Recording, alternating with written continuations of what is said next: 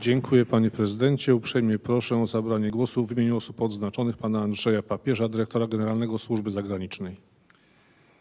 Szanowny panie prezydencie, pierwsza damo, pani marszałek, panowie ministrowie, panowie oficerowie, szanowni koledzy, koleżanki w służbie dyplomatycznej.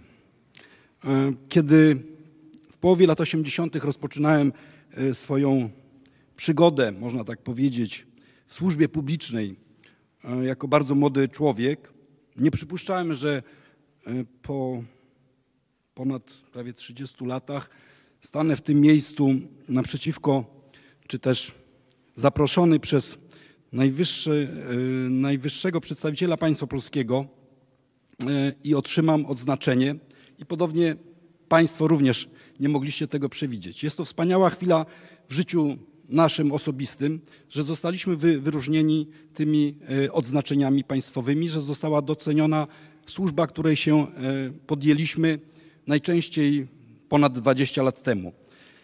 E, pan prezydent był łaskaw poruszyć wiele kwestii w swoim wystąpieniu. Ja chciałem i właściwie w jakimś sensie wyczerpał część myśli, który, z którymi chciałem się podzielić. Natomiast w związku z tym dodam tylko kilka takich uwag. Służba dyplomatyczna, służba zagraniczna, polska dyplomacja e, to mm, śmiem twierdzić jest kwiat polskiej administracji. Jest to mm, być może najlepsza część polskiej administracji. Wynika to z kompetencji, którymi muszą i y, które, które muszą spełniać osoby, które do tej służby przystępują.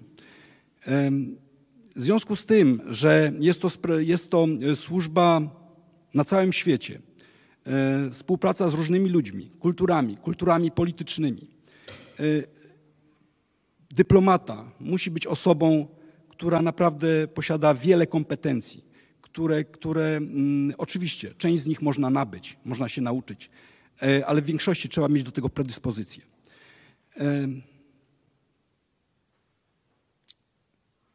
Rząd Prawa i Sprawiedliwości, który e, przez ostatnie cztery lata rządził Rzeczpospolitą Polską, dał między innymi mm, mnie i moim współpracownikom, panu ministrowi przede wszystkim, możliwość dołożenia swojej cegiełki do tego, żebyśmy stworzyli jeszcze lepszą, służbę dyplomatyczną. Co to znaczy jeszcze lepszą? To znaczy służbę, która rzeczywiście dokładnie pojmuje słowo służba jako obowiązek. Musimy i chcemy być i będziemy służbą elitarną, najlepiej przygotowaną i takich ludzi będziemy w tej służbie zatrudniać. E, mam nadzieję również z pomocą pana prezydenta.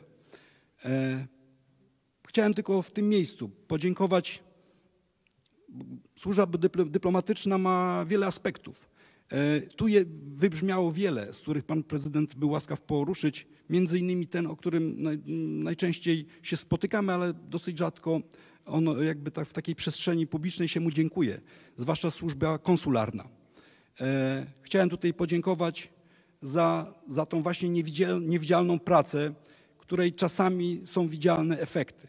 I jeszcze raz cieszę się, że właściwie właśnie w stulecie Polskiej Służby Zagranicznej, bo o ile w 18 roku, w listopadzie, naczelnik państwa wysłał depeszę o, oznajmiającą o reaktywacji państwa polskiego, to tak realnie służba zagraniczna, służba dyplomatyczna zadziała, zaczęła działać jakby operacyjnie w 2019 roku.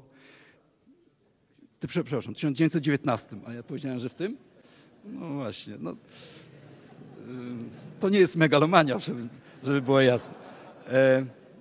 Także bardzo się cieszę, że mogliśmy się w tym gronie spotkać, podziękować za to, zostaliśmy docenieni. Patrzę na moich kolegów, koleżanki z MSZ-u, większość z nich znam, są to wspaniali, e, o olbrzymich kompetencjach osoby. Chciałem podziękować również osobom tutaj, e, oficerom, dowódcom, szefom służb, gdyż dyplomacja to w tym miejscu też warto powiedzieć, to jest bardzo bliska współpraca, głównie ze służbami. Jest, jest tak na całym świecie.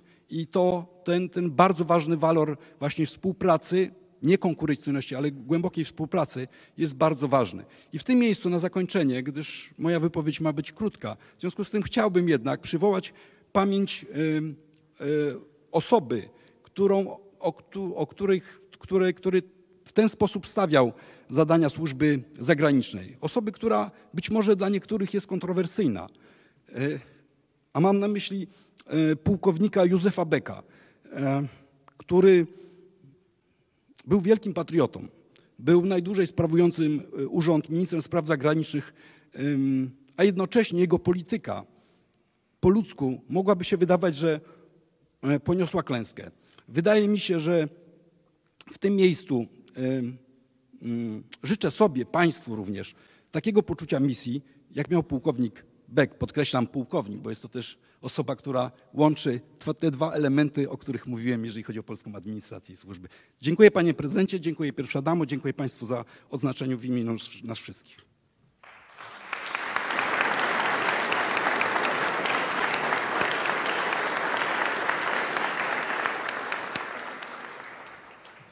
Dziękuję panie dyrektorze. Uprzejmie proszę o zabranie głosu ministra spraw zagranicznych pana Jacka Czaputowicza.